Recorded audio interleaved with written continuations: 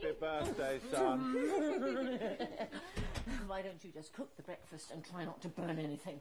Yes, Aunt Petunia. I want everything to be perfect for my Dudley's special day. Hurry up. Bring my coffee, boy. Yes, Uncle Vernon. Aren't they wonderful, darling? How many are there?